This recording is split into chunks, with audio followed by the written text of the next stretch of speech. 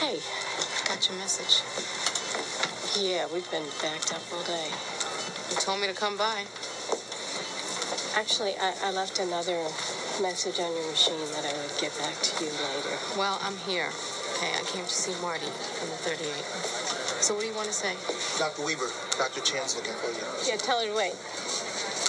I just wanted to make sure that you're all right. I heard it was a pretty big fire. I'm fine. Good. Good. Dr. Weaver, can you sign an order for a social services consult? They won't come down here without a signature. Not now. Well, it's Joyce Westlake, the ankle. There, there is domestic violence involved. Yeah, I'll- so I've- I'll come down and talk to her. So that's it? What? We're gonna keep playing this game. I'm not playing any games. So what, you just want to check on me?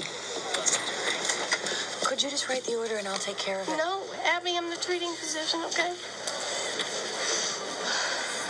It's all right. Why are you avoiding? I'm, I'm not. Look, can you tell I'm just a little sweaty? Kerry, excuse me. You want to talk to me? Talk to me, okay? I'm not going to be hanging around for your convenience. You know, forget it. Come on. Forget it. Please, No, wait. Let me just, let me just check on Sam. You know,